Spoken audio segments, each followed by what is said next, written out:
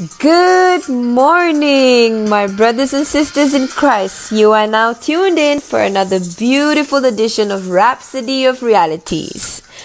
Today, our man of God would like to share a message entitled, He Knows Where You Are. Hallelujah.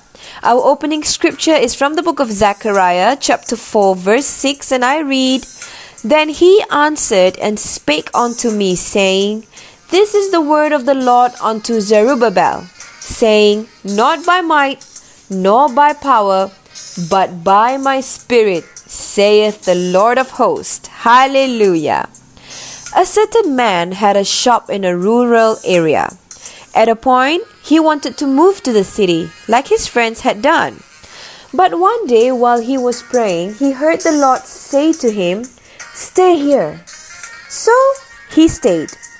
Two years later, the government signed a contract to expand the road in that area. The road was constructed and expanded, and a new settlement with expatriates was established in the area. His shop became the strategic corner shop for everyone in the neighborhood. Suddenly, his business boomed, being the only shop in the area. Soon enough, what used to be located in the torn up street and sidewalk became a major department store where everybody transacted business. Most of his friends who had relocated to the city started coming back, but he already had the major share of the market. A few years later, he had expanded to a chain of major stores. It does not matter where you are, God knows you are there and will channel His grace towards you as long as you stay in His Word. Our theme verse says, It is not by might nor by power, but by my Spirit, saith the Lord of hosts. Where He tells you to stay is where you should be. He told Isaac to remain in Gerar even though others were relocating due to famine. The Bible says, And Isaac dwelt in Gerar.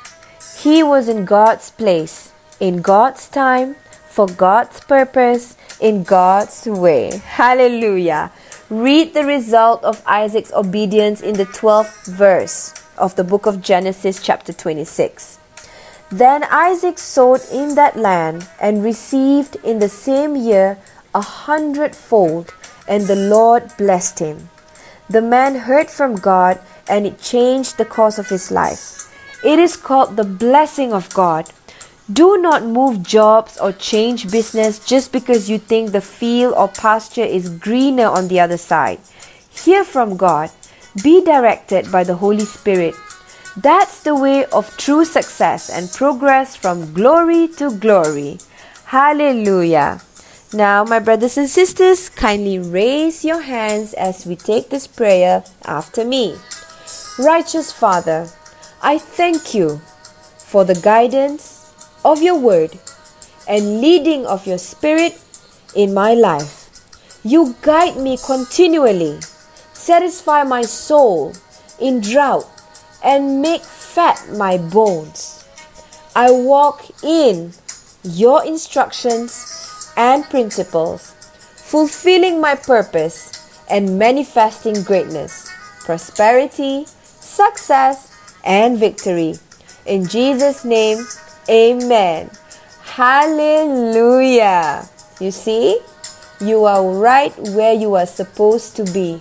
And as long as you listen to the Word of God, as long as you obey to His principles, as long as you obey the Word and keep doing them, you'll just see your life changes from glory to glory. God remembers where you are. Now, when you're free today, kindly go through these scriptures for you to further understand today's topic.